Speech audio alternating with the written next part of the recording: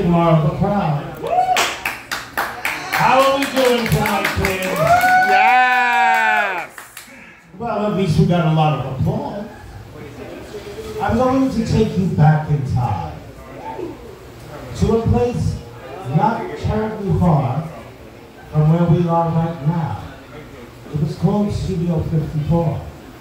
It was a different time and a different place here in New York City. And the music they played was legendary. I said, they you go, please.